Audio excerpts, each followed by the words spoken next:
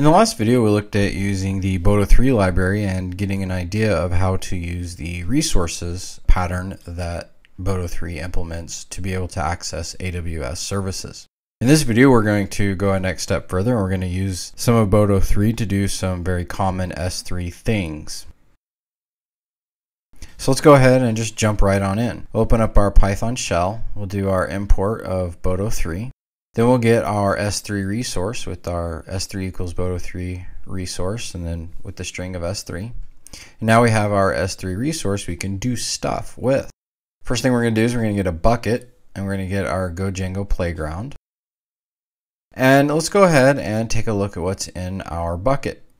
So we'll just do a 4f in bucket.objects.all. You'll notice that's kind of similar to how Django works.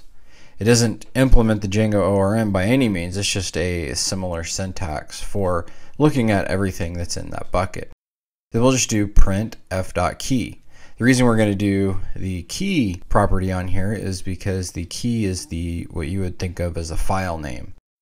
So we'll let that run and it's going to give us, we have test.pdf and test.txt. So that means we have two files in our S3 storage. Let's go ahead and look at what we have in our current directory. If we ls, we see we have test.pdf. So let's go ahead and download that test.txt file. So do bucket.download file. We'll pass it test.txt. The first parameter is the key that's on S3. And then we're going to give it the file name we want to download it as. In this case, hello.txt. So we'll do an ls. You can see we have hello.txt and test.pdf. Now if we'll just cat hello text, you see hello world. So we've successfully looked at the files that are in our bucket and we've gone ahead and downloaded one of the files from the server. One of the next interesting things you can do is you can actually filter out results of what's in the bucket. So if you'll just do a for object in bucket.objects.filter, again, similar to the ORM, but does not work the same at all you would do a delimiter. This is going to be something, a kind of pattern recognition type thing to be able to find all of the files, in this case, that have .pdf. Actually, it's not going to find all the files that have PDF. It's going to exclude all of the files that have .pdf. In the Django ORM, it's inclusive. In this case, it's exclusive. In this case, it would be the same as doing .exclude with the Django ORM. So we're going to go ahead and loop through that and go ahead and print out the object.key. And see now we have our test.txt and not our test.pdf. The things that you can use is you can use the bucket, you can use a delimiter, you can use the encoding type, marker, max keys, or prefix to do specific filtering. And I recommend you take a look at the documentation to get a better idea of how to use those. The final thing that we're going to do is we're going to look at creating and generating URLs to interact with our S3 files and our bucket.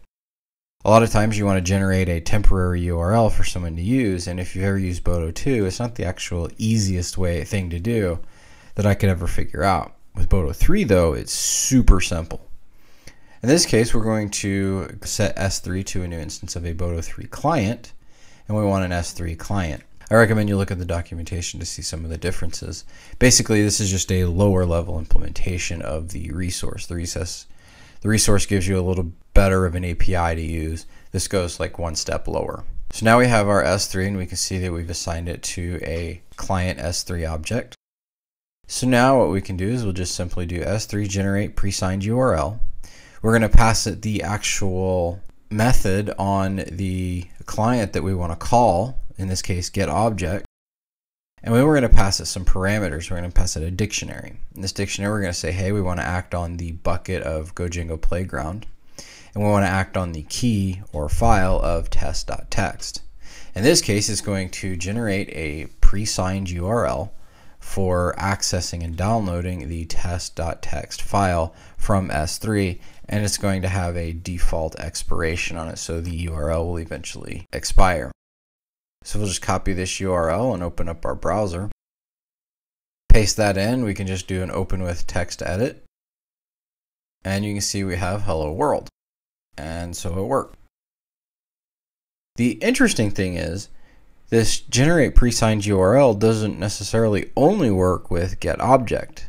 We can also use a different function of list objects. List objects is a method on the client. So we'll generate our pre-signed URL for list objects, pass it our bucket of GoDjango Playground, and we get back a URL.